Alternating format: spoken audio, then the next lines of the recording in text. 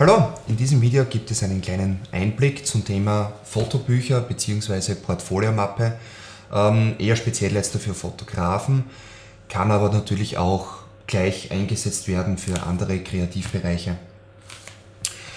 Worum geht es bei diesen Fotobüchern oder Präsentationsmappen? Die meisten sind es eigentlich gewohnt, im digitalen Zeitalter irgendwelche Fotos, Bilder auf mobilen Endgeräten herzuzeigen, Handy, Tablets, wie auch immer es reicht, um jemandem zu zeigen, dass man ein Bild hat und was man gemacht hat.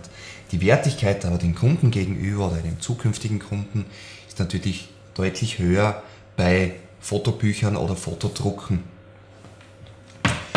Das wird jetzt kein spezielles Verkaufsvideo werden, sondern eher ein kleiner Überblick, was sind so die Unterschiede punkto Papier, punkto Buch, punkto Mappe oder ein reines, ein reiner Fotodruck, hier 20 x 30 auf Fotopapier. Eine Möglichkeit, sich ein Portfolio zusammenzustellen, ist natürlich ein Fotobuch. Ich habe schon ein etwas älteres. Das hat ca. 50 Seiten auf Fotopapier, glänzend gedruckt und mit der Möglichkeit, das ist jetzt der 20 x 30 Hochformat, mit der Möglichkeit einfach auch Panoramaseiten zu erstellen beziehungsweise einfach ein, ein Foto über eine Doppelseite zu geben. Das heißt, hier haben wir keine Kante in der Mitte. Glänzend, man merkt schon, es spiegelt natürlich ein bisschen. Zweite Variante, man drückt das, druckt das Ganze auf mattem Papier, man weniger Spiegelungen. Hängt natürlich auch sehr stark vom, vom Foto ab, ob jetzt eher mattes oder glänzendes Papier oder vielleicht auch sogar strukturiertes Papier besser zur Geltung kommt. Um etwas hochwertiger zu gehen, warum hochwertiger? Naja, du willst sicher auch hochwertigere Produkte und hochwertigere Dienstleistungen dem Kunden weitergeben oder empfehlen.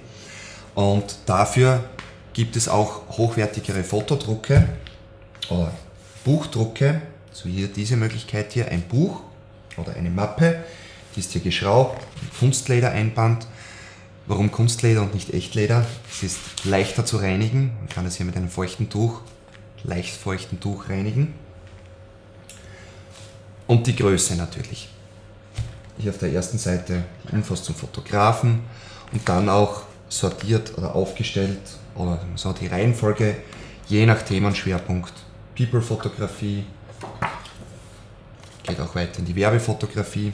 Hier natürlich in diesem Fall durch die Kante in der Mitte ist das mittlere Bild nicht zu sehen oder schwerer zu sehen oder auch gar nicht zu sehen. Kann gewollt sein oder auch nicht. Hier bietet sich dann die Möglichkeit, dem Kunden wirklich spezielle Details zu zeigen, Detailausschnitte zu präsentieren und deine Arbeit auch zu präsentieren. Hier zum Beispiel ist auch ein Vorher-Nachher-Bild mit abgedruckt, um dem Kunden auch zu zeigen, wie und was mit der Bildbearbeitung möglich ist. Vielleicht hört man es im Video auch, das Papier ist wirklich ein dickes Papier, das ist ein 350 Gramm oder fast 400 Gramm Papier, ist doppelseitig bedruckt, in Farbe. Ja, und kann man den Kunden gerne einfach mal vorlegen, durchblättern lassen, beziehungsweise einfach auch den Kunden in ein Gespräch verwickeln und auch zu zeigen oder auch zeigen, was du kannst und was du magst. Hersteller, wie schon gesagt, werde ich keinen empfehlen. Der Grund ist ganz einfach. Ich selbst lasse auch bei vielen verschiedenen Drucken äh, immer abhängig davon, für welchen Kunden ist es, für welche Zielgruppe ist es, beziehungsweise auf welchem Material soll es sein.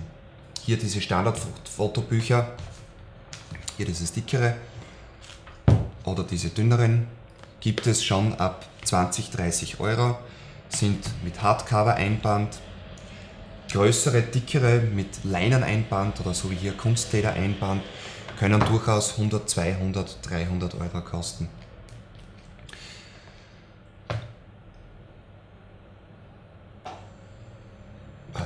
Der Bildband soll für dich immer als Referenz sein. Du kannst, wie schon gesagt, dem Kunden natürlich auch gerne deine Fotos zeigen am iPad oder am Tablet, am Handy. Drucke haben noch immer einen gewissen Reiz und können durchaus die ein oder andere Entscheidung beim Kunden beeinflussen. Probiere und teste. Du hast sicher die Möglichkeit in Geschäften gewisse Fotobücher auszuprobieren, die Hand zu nehmen, durchzublättern. Sieh dir an, was dir gefällt und was auch du deinem Kunden zeigen möchtest. Wichtige Merkmale oder Kriterien, die mir persönlich immer sehr wichtig sind, sind das dicke, griffige Papier, wirklich ein sauberer, dicker Druck und eine saubere Verarbeitung. Fotosbücher oder Referenzmappen sind nicht wirklich brauchbar, wenn sie zwar hochwertig und teuer sind, aber nach dem dritten Mal durchblättern, so wie hier, das ist ja schon mehrere Jahre alt, ausgefressene, abgefranste Kanten hat. Das ist dann der optimale Zeitpunkt dafür, ein Fotobuch auszutauschen oder nicht mehr, nicht mehr allen Kunden zu zeigen. Bei den Fotobüchern gibt es auch noch Unterschiede, ob man hier so einen kleinen Herstellerstempel drinnen hat oder irgendein Branding vom, vom Hersteller oder, so wie hier bei diesem großen, eben nicht. Das ist komplett neutral gedruckt. Ist dann natürlich auch wieder ein Kriterium, ob ein Buch etwas teurer oder billiger ist. Mir persönlich geht es immer nach einem gewissen Grundsatz, verkaufe deinem Kunden nichts, was du nicht selbst verwenden würdest.